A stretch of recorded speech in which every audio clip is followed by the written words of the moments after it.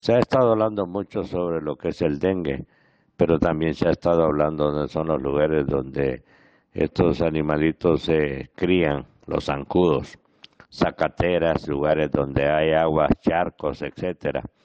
Los vecinos de la colonia Altos de Toncontín nos han hecho un llamado para que a su vez llamemos a los propietarios de este solar. Es una tremenda zacatera y una y un criadero de zancudos que se ha formado en ese lugar que está afectando a los vecinos de Altos del Toncontín. Este terreno pertenece aparentemente al Injupen y necesita la atención urgente, ahí es la atención del caso.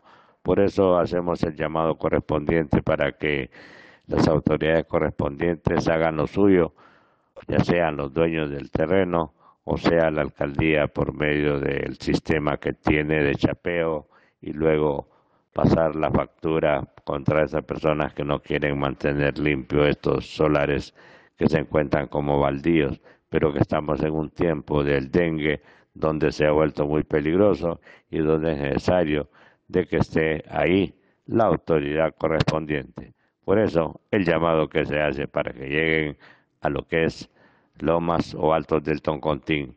Con la cámara y edición de Javier López les informó Jorge Juan.